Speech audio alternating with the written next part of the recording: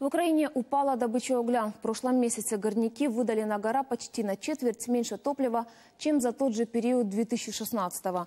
Причина – захват боевиками шахт на оккупированной части Донбасса. Об этом сообщили СМИ со ссылкой на источник Минэнерго. Напомню, после начала торговой блокады Ордло боевики заявили, что национализируют часть предприятий, которые находятся на неподконтрольной Украине территории.